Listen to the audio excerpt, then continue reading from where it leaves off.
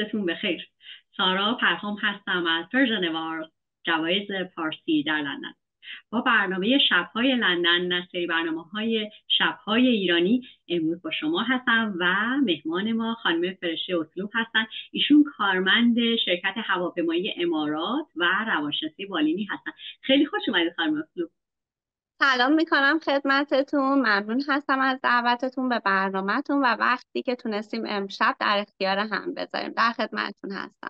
خواهش می‌کنم. ممنون از حضور شما در برنامه.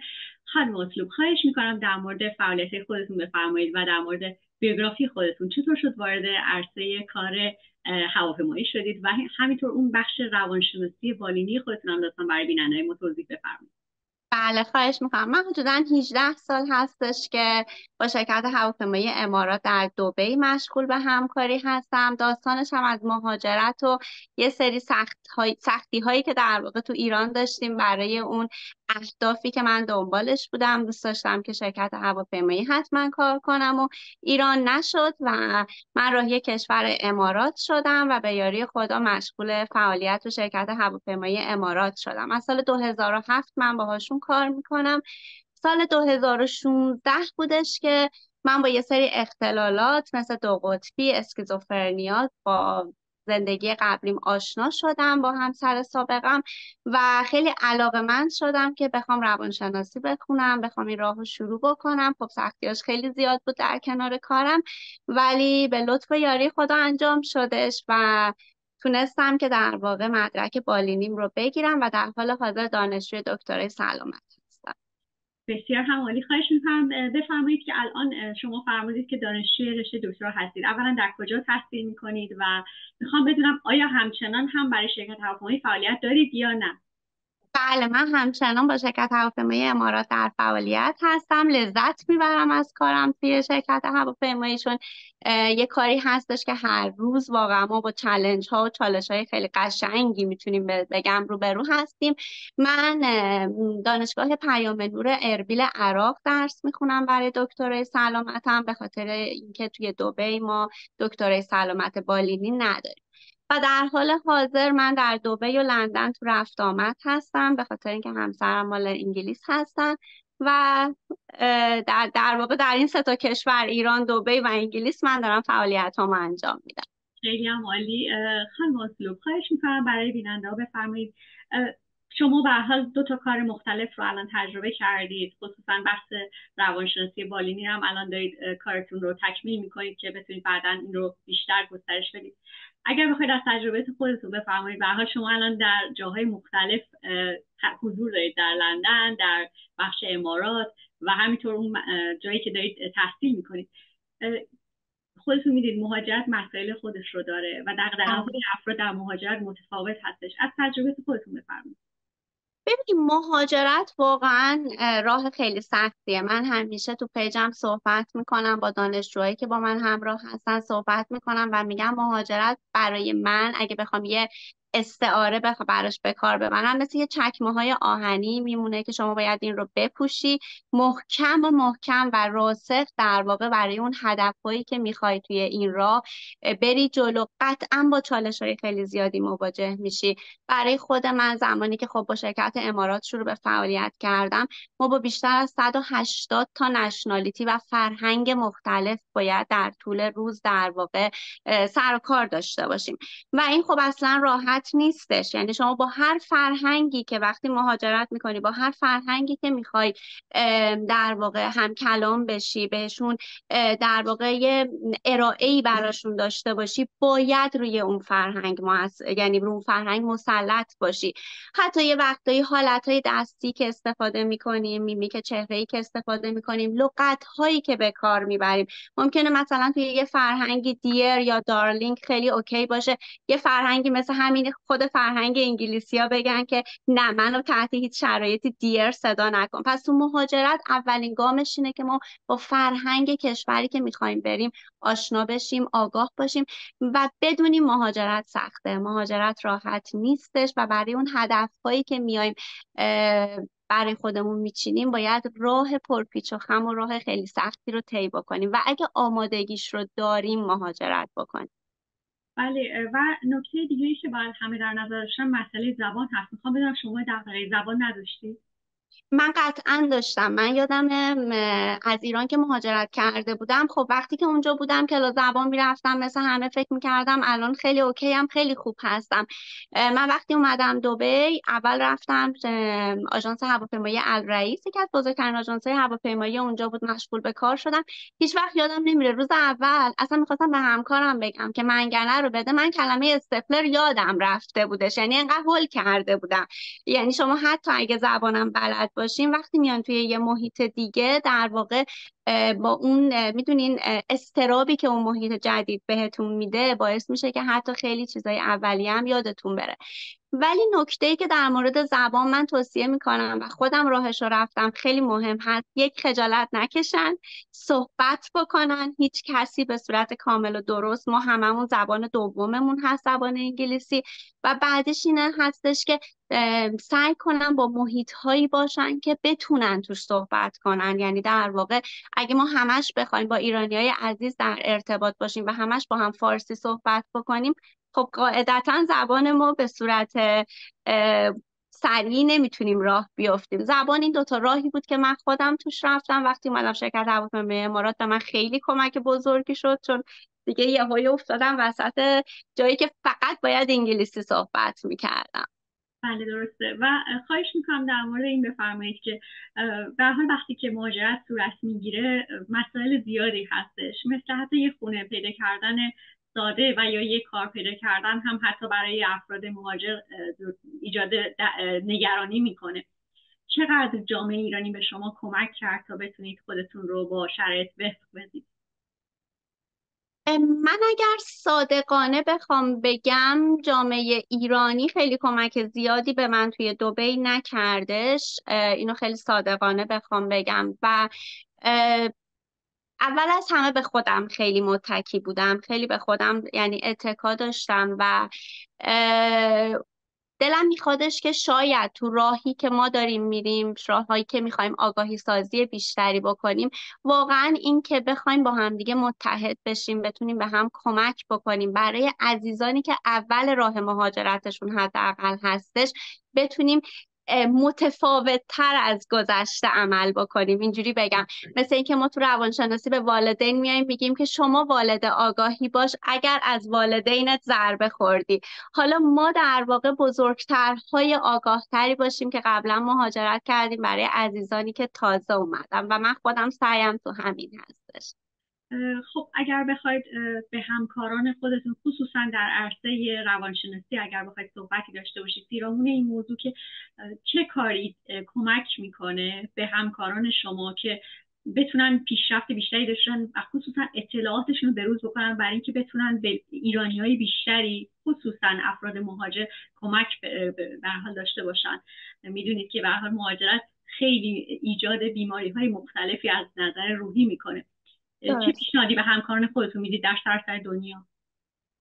اولش این هستش که با آگاهی در واقع با آگاهی کامل جلسات تراپیشون و جلسات های مشاورشون رو برگزار بکنن. من خودم جل... یه سری جلسات در واقع مهاجرت سیاه و سفید دارم که میایم روی شناختی رفتاری اویدنس بیس میایم کار می‌کنیم که بر مبنای چه شواهد و چه مدارک و چه خواسته ها و چه نیازهایی فرد تصمیم به مهاجرت می‌گیره و در چه موقعیتی.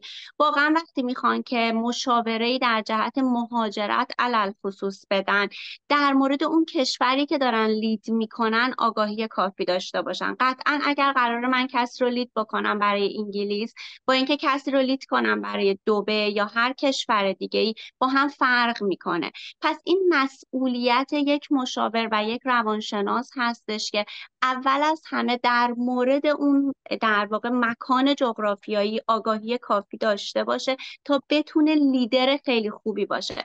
و خواهشم این هستش که اگر در مقطعی احساس می‌کنن که شاید من الان لیدر خوبی برای اون محیط جغرافیایی نیستم که بخوام لید بکنم ارجاع بدن. یه چیزی که ما باید تو فرهنگ روانشناسی خیلی داریم سعی می‌کنیم که جا بندازیم فرهنگ ارجاع دادن هستش. اگر در هیته توانمندی من نیست هیچ ایرادی نداره. یک پزشک نمی‌تونه در همه هیته ها بیا در واقع تخصص داشته باشه. روانشناسی هم همینه. اگر در هیته من نیست ارجاع بدم به همکار عزیزی که می‌دونم در هیتش هست و می‌تونه کمک موثری بکنه. بله درسته. این مطلبی که فرمودید خب خیلی نکته های اهمیتی هست. یعنی اینکه این به نحوی همکاری هست بین کسانی که در عرصه روانشناسی فعالیت دارن. بله. می‌تونن که با هم دیگه تبادل اطلاعات بکنن و تبادل بیمار بکنن که به به نتیجه مثبت برسه. خب اگر بخوام ازتون بپرسم به شما به عنوان یک فعال اجتماعی محسوب میشید. هم از این دیدگاه که در عرصه‌های مختلف دارید فعالیت می‌کنید از نظر روانشناسی هم دارید تحصیلات خودتون رو بالا می‌برید برای اینکه بتونید به ایرانی بیشتری کمک رسانی بکنید. همینطور غیر ایرانیان. به حال اونا هم در نظر باید گرفت. بله. اگر بخواید این مطلب رو ما بفرمایید که چقدر فعالیت های اجتماعی گذار هست در رشته کاری شما. یعنی اگر بخواید اینو در نظر داشته باشید که وقتی که شما در رشته خودتون پیشرفت بکنید با همکارانتون تبادل اطلاعات داشته باشید چقدر می‌تونن بیماران این مسئله رو یعنی اون کمک رسانی چقدر به اونا کمک کنه که با مشکلات کمتری روبرو بشن؟ قطعا اتحاد درست بین درمانگرها می‌تونه اثر کاملا متقابلی در درمان درمانجوها داشته باشه. باز یکی دیگه از فعالیت هایی که ما خیلی داریم سعی می‌کنیم روش تمرکز داشته باشیم علاوه بر فرهنگ ارجاع دادن این هستش که عرض کردم خدمتتون در حیطه توانمندیمون کار بکنیم. یه شاید یه درمانجو ندونه که واقعا یه درمانگر بزرگسال با یه درمانگر کودک با هم فرق می‌کنه.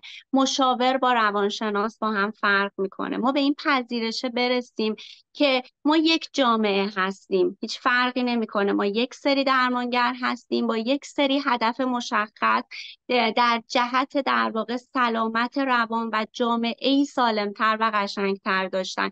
اگر من درمانجوی درمانگر کودک و نوجوان نیستم هیچ رادی نداره. وقتی کسی به من مراجعه کرد برای بچهش بگم که خیلی آگاهانه بهش اطلاع رسانی بکنم که من درمانگر نوجوان نیستم کودک نیستم و بهترینه که شما با متخصص حالا با نام X یا Y در تماس باشین تا بهتون کمک بهتری بشه. اگر ما این اتحاد درمانی رو بین درمانگران انشاءالله در سراسر دنیا فرق نمی‌کنه. ایران دبی انگلیس کانادا هر جایی بدون تعصب بدون اینکه تعصبی داشته باشیم من بهترم یا اون بهتره یا اون بهتره. یه acceptance ی داشته باشیم که هر کدوممون در حوزه خودمون می‌تونیم فعالیت خوب و مثبتی داشته باشیم. من مطمئن هستم که می‌تونیم جامعه سالم تری داشته باشیم و داشتن این جامعه سالم باید هدف ما باشه. بله مطلب دیگه که می‌خوام ازتون بپرسم مربوط به کار دیگر شما هست هواشناسی امارات. شما با غیر ایرانیان در ارتباط هستید به حال دارید باشون کار می‌کنید. افرادی که می‌خوان با غیر ایرانیان کار بکنن از دیدگاه خودتون بفرمایید چه کاری انجام بدن که در شغل خودشون بتونن ارتقا پیدا کنن. چون می‌دونید که به حال دیدگاه افراد نسبت به جامعه ایرانی متفاوت هست. چه کاری انجام بدیم که بتونیم پیشرفت بکنیم در جامعه غیر ایرانی؟ بله اول از همه می‌تونم بگم صداقت صادق باشیم. در اون کاری که بلدیم در اون خدماتی که می‌خوایم ارائه بدیم. اول از همه بیایم صادقانه اون خدماتمون رو ارائه بدیم.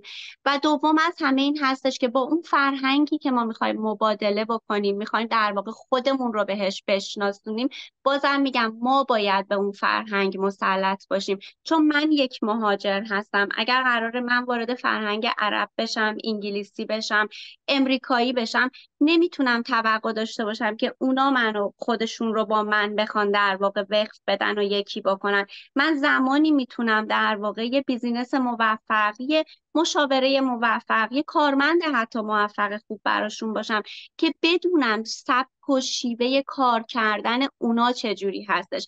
هر چقدر من به آگاهی و دانش خودم اضافه بکنم قطعا می‌تونم خدمات بهتری رو ارائه بدم و قطعا این همکاری مثل همکاری من با امارات که 18 سال خدا رو هنوز ادامه داره حتی دوره کرونا که خیلی ما در واقع بچه ها رو فرستادن رفتن من هنوز باشون هستم. کنارشون هستم به خاطر وقت دادن خودم با شرایط و قوانینی بودش که تو این شرکت در حال اجرا هستش. خیلی هم عالی. تبریک میگم خدمت شما به خاطر این کاری خوبی که داشتید تا به الان. خب اگر بخوایم از شما صحبتی بشنویم شما در بخش روانشناسی الان دارید تحصیلات خودتون تکمیل می‌کنید و آیا قرار هست که فعالیت خاصی انجام بدید که تو صفحه اینستاگرامتون می‌خواید اطلاع رسانی بفرمایید؟ الان می‌تونید برای بینندهای ما بگید.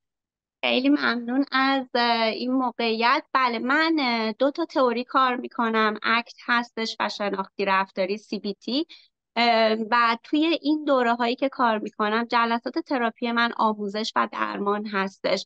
من یه package های ده جلسه ای رو دارم که در واقع حتما برای افرادی نیستش که حالا الان یه بخشی از زندگیشون کار کرد هاشون مختل شده و برای درمان فقط میان.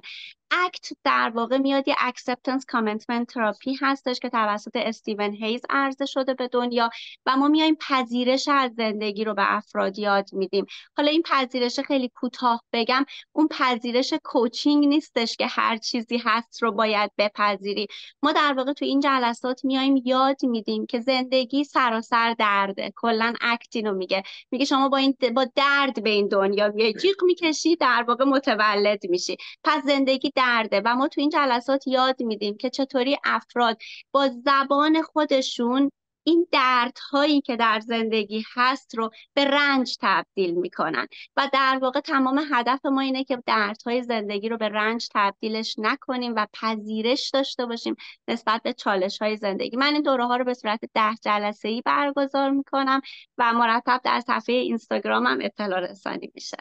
خیلی هم عالی. آیا فقط در صفحه اینستاگرام می‌تونن شما رو پیگیری کنن یا وبسایت لینکدین جای دیگه هم می‌تونن شما رو پیگیری من تو لینکدین هستم وبسایت هم هم هستش فیسبوک هم فعالیت دارم و در حال حاضر با کلینیک cbt.ir که تو در واقع profile page اینستاگرام هم هستش با این کلینیک هم در در واقع همکاری هستم که دوستانی که می‌خوام book بکنن چه از طریق کلینیک و یا چه از طریق مستقیم واتساپ من صفحه اینستاگرام همه صفحات مجازی که خدمتتون عرض کردم خوشحال میشم در کنارشون باشم. خیلی هم عالی. خیلی خبر خوبی بود خانم مطلوب با برنامه شبهای لندن در سری برنامه های شبهای ایرانی امروز مهمان امروز ما خانم فرشته اسلوب بودن. ایشون کارمند شرکت هواپیمایی امارات و روانشناسی بالینی هستن و در کپشن لینک صفحات ایشون می‌ذاریم می‌تونید پیگیری کنید.